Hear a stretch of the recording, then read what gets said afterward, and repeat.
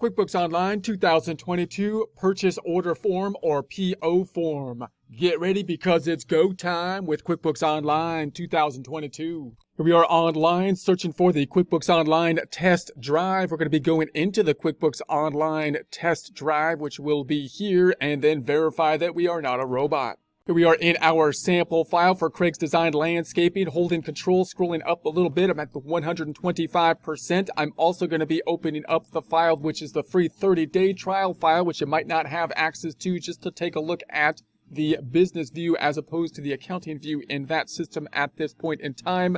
Back to the Craig's Design and Landscaping, hitting the plus button up top. We're now still focused on the vendor section, looking at each form individually. We're going to jump down to the purchase order at this point in time. The purchase order would only be a form that you're going to be using if you have inventory that you're dealing with. And beyond that, you have inventory where you have a little bit more control and power on the purchasing side of things to be able to request the inventory without having to pay for it at the point in time that the request happens. This is a little bit different that if you haven't worked in a situation where you use purchase orders, this may feel a little bit strange because when you personally order something online, for example, that it's going to be shipped to you, typically you have to pay for it at that point in time with a credit card or some kind of electronic transfer. And at that point, a financial transaction would be entered because a payment had been made. The inventory is in essence kind of yours in some sense at that point in time. However, when you're looking at a purchase order, it's a request. So that means that we're actually requesting for the inventory and not paying for it at that point in time which makes it a bit of a strange data input form because most of the data input forms you see here will result in a financial transaction, something happening to the balance sheet and the income statement. However, this form, because we didn't pay any money and because we don't yet have the inventory, it's not ours at this point in time, then uh, there's no financial transaction related to it. However, we do want to track it because when we get the inventory, we expect to receive it basically with a bill in it. And so we would like to track the open purchase orders to the inventory that we're going to receiving and possibly enter the bill at that point in time. Let's take a quick look at the flow chart. I'm going to jump on over to the flow chart. This is the flow chart on the online version, which they're still kind of modifying. So I'm going to go into the more static flow chart up top just to look at the flow of the forms. This would be the flowchart on the desktop version, but we're just looking at the flow and the forms. The icons will change as we know. So down below, we entered the uh, bill item down here for the normal flow. If you don't have inventory and we're on an accrual basis, you would simply enter the bill and then you pay the bill. If you have inventory, then we're going to jump up to this higher level, this higher line that's going to be specific to inventory, which tax on the purchase orders. Again, purchase orders would only be used if you're in a situation where you're dealing with purchase orders. In other words, you don't have to pay for the inventory at the point in time that you order it. So we would make the purchase order, which doesn't have a financial transaction related to it, and then we would receive the inventory most likely with a bill at this point, at the at some point in the future. We would tie out what we've actually received. In this case, we're imagining we're buying guitars for our inventory because we buy and sell guitars.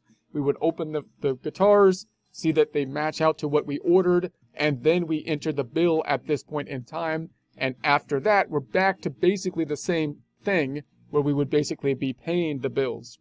So uh, the purchase order doesn't have to deal with the inventory tracking at this point yet. When we receive the inventory and enter the bill, that's when we'll also have to deal with the inventory component that's going to be on the QuickBooks side of things as well. If you're using a perpetual inventory system to track the inventory in the QuickBooks system, then the system needs to add it not only to the account of the inventory, but also to the sub accounts to track the inventory by unit and flow assumption. So let's go back on over and see how we can track this. So obviously if we were to enter the purchase order, we, we could do it by hitting the drop down up top and if we're ordering inventory, we would go down to the purchase order here. That's one way to get there. Once the purchase order is in place, you can track the purchase orders. You can't do so as easily with the reports because the, the reports aren't hitting, or at least they're not going to be affecting the balance sheet and the income statement, the primary financial statements. You could most likely would track them then by going down to the expenses area, which you can think about as basically the vendor center, you might call it, or the accounts payable center. And then up top, we've got the expenses tab. I'm going to close the, the um, hamburger. And then you can search for the purchase orders here by looking at the type of transaction. So we could sort by and say, I would like to look at the purchase orders. there's the purchase orders. I'm going to look at all of them first to start off with and apply that. So there we have it. There are our purchase orders. And then we might set more restrictions to them. We might say, okay, I'm going to open this up and take a look at the purchase orders that are open, open purchase orders, for example, and then apply that out. And we have the open purchase orders. If I was to go into the purchase order, this is what the purchase order will look like. I'm going to select that item. We're kind of deconstructing here. So we're going from a purchase order that has already been made, drilling back down to the source here, the purchase order, which again would be the data input form that you would use when requesting inventory if you have a system where you can request the inventory without having to pay for it at the point in time of the request. So we got the vendor up top, email if applicable, mailing address, the ship to information, purchased order date, the shipping address, uh, which is obviously going to be important if you're going to be, you know, to get the inventory. And then down below, notice what we don't have. We're not using the category field as we saw when we entered the bill because we're not going to be assigning this directly to an account. In other words, you might say, hey, if I'm buying inventory, if I buy and sell guitars, for example, that is my inventory. Why don't I just hit the inventory account here for the inventory that I'm going to be purchasing? The reason is because we want to track the inventory in the accounting system, not just by the dollar amount, but also by the units. And to do that, we have to set up the inventory items. We'll talk more about inventory items later. They're a little bit confusing to set up. They're one of the key components in the setup process to get things running smoothly. Once set up, then the data input becomes much easier for people to just populate these types of forms. So we have the inventory item here that has been set up. It's going to be the rock fountain, quantity 1, 125 at the rate, and the 125 as the amount. Down here, it looks like it's something like a data input form that would result in something happening to the financial statements. So you're going to look at this and say, hey, doesn't that mean that like some account on the balance sheet on the income statement is going to be impacted by that 125? No, because it, it doesn't actually, we're not actually paying for it. We're just requesting at that price at this point in time didn't actually pay for it, didn't actually receive the inventory. It's not our inventory yet, just a request. And then once we receive it, that's when we're going to use this purchase order possibly to then create the bill or the check that we will then use once we receive the inventory, record in the inventory and the accounts payable or payment at that point in time.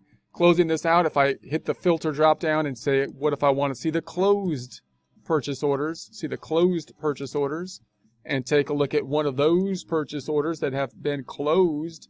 So there we have that. And notice we've got the link over here. We've got the, the linked check. So if I hit the linked item, there's the type date check. If I hit the check, here is the actual check that's linked to the purchase order. And if I scroll down, you can see the, the basically the check that was made. You can think of it as in essence being created most likely from the purchase order. So we've got the, the uh, Hicks hardware. If I close this back out, close this back out, we're going back to the purchase order. Let's go back to the purchase order here. And then we've got the detailed information here, which is linked to the check that was then used once we received the inventory and then paid for the item. So we've got that linked here and we've got the same kind of items down here the 22875 being the amount that's going to be paid at this point in time when we wrote the check that's when we would be recording the inventory both to the balance sheet as well as to the subsidiary ledger by unit and recording the decrease to the checking account. Closing this back out there's the 8 uh, the 22875 on the purchase order here as well. We can also then go to the vendor area. So if i go to the vendor section and then look for the purchase orders. We can then see our detail down below. These are the people that we owe money to. And we would be also tracking the purchase orders that we made requests for, which we, we don't owe them the money yet, but we made a purchase order to them. I can go up top and say we have this one purchase order. So let's select the We've now set a filter in place. So now we've got our item down below. This is the vendor that we have the open purchase order for. I can open up that vendor and I see the activity for them and here is our purchase order. So we've got our purchase order here. We can send it if we so choose. We've got the drop down to copy to a bill. If we, if we then are receive the information and we want to basically make the bill from it, print it, copy it, and delete it. If we go into that purchase order, we can go into the purchase order here and see the actual purchase order. It's marked here as an open purchase order, as you can see. With the drop down, you could manually close it. That means that we haven't yet received this purchase order closing, and that also means that we don't have the connected bill or check over here. I'm going to close this back out. So then I'm going to go back to the prior screen just to kind of practice going back, remembering that I'm not going to hit the back arrow to do it. I'm going to hit this little item. This little item will take me back to this. Actually, that's going to close the caret. I'm going to open that back up and hit this one, taking us back to the vendors. So now we're back to the vendor screen. And if I want to navigate somewhere else, I'm going to hit the drop down for the navigation. Now you also have some reports that you might use to take a look at the purchase order information. So I'm going to go to the reports down below and we'll talk more about basically reports just in general in a future presentation. But if we go down to the reports, I'm just going to search for it here. Purchase order Open purchase order detail. Let's open that one up. Open purchase order detail.